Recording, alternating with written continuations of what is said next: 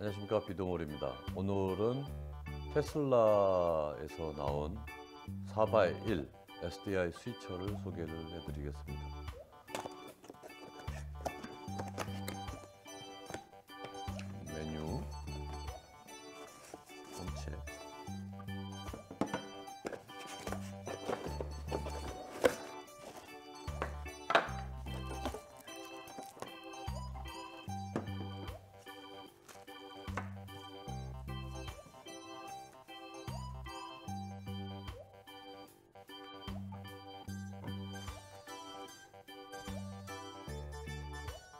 짜잔.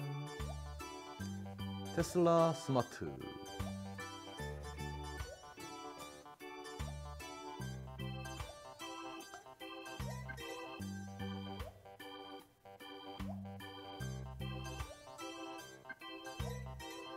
RS232 지원이 됩니다. 스위처 1, 2, 3, 4 리모컨 1,